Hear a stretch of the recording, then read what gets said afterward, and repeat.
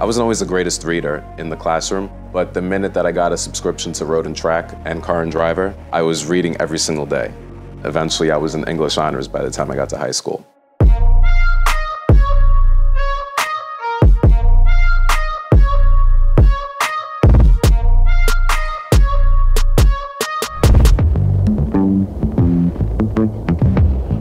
Name is Alex Beras. I am a education professional and I have an unhealthy obsession with cars.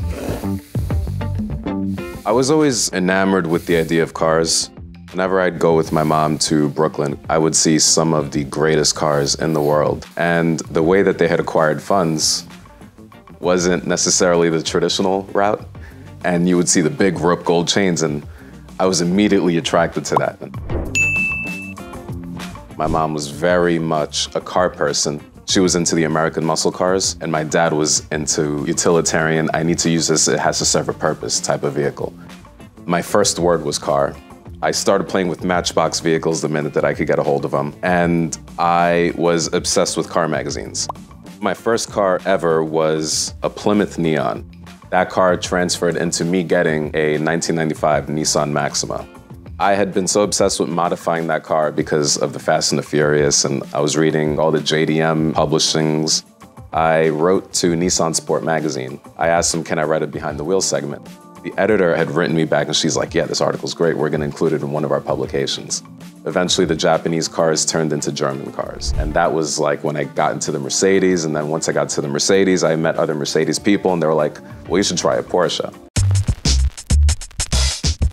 I initially got into Porsches when I picked up a 2006 Porsche Cayenne with a six-speed manual. Two, I'm driving with the manual stick shift Cayenne. I was able to engage with other Porsche owners and they were letting me drive their cars. Everything from a Porsche 356 to a Porsche 911. And in that process, I met Brett Sloan, who would let me drive a bunch of his cars.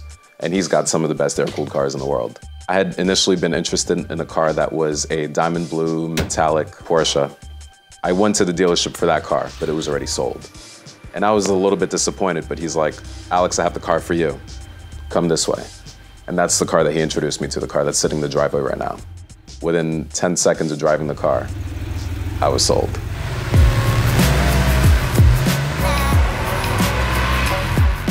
I sold every car in my driveway. Range Rover Classic, Porsche Cayenne, and I sold the 560 SL. And I put myself in a position financially to acquire this one 911. It was probably the best decision I made.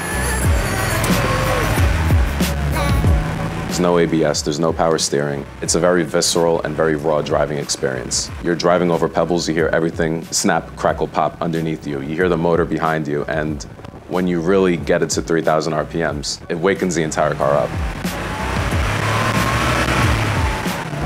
It's a very special vehicle that connects the driver to the road. You feel one with the car. Right now we're capturing this beautiful woman named Brooke Irwin. She's a model in front of my beautiful car. The passion for cars, for me, it's a distraction in the sense that I get to move away from my daily life as a school administrator. Sometimes a car can do that. I could just jump in the car, hit the clutch, hit the gas, there I go.